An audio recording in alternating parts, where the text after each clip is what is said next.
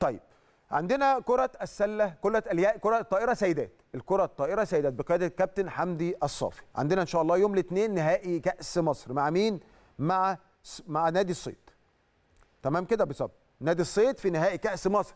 الطرف الثاني الصيد وسبورتنج الصيد تأهلت لل final والنادي الأهلي تأهل لل final بعد فوزه على آه، وادي دجلة. الماتش هتلعب يوم الاثنين اللي جاي الساعة 10:30 بالليل على صالة شباب والرياضه كل سنة وحضراتكم طيبين. 10:30 عشان رمضان. في صاله شباب والرياضه بمدينة 6 أكتوبر. النهائي هيتلعب بنظام best of 3 واللي هيفوز بالماتشين هيكسب البطولة. الأهلي كان صعد النهائي بعد فوزه على سبورتنج زي ما قلت لحضراتكم.